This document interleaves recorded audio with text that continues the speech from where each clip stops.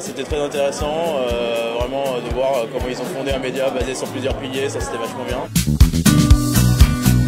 Bah, je suis là aujourd'hui parce que ça fait quelques mois que j'entends parler du Tank Média. Le fait de rassembler cette communauté, bah, c'est super sympa d'abord. De deux, ça, permet de s'ouvrir.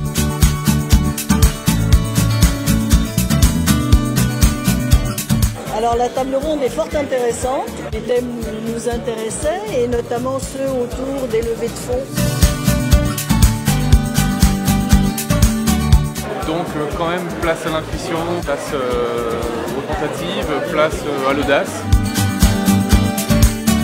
Euh, J'ai noté plein d'idées sur mon carnet de choses à faire, comment euh, développer un euh. C'était passionnant du coup d'avoir des retours d'expérience et de pouvoir confronter euh, à la fois euh, des expériences, des opinions, c'était passionnant, c'était très intéressant.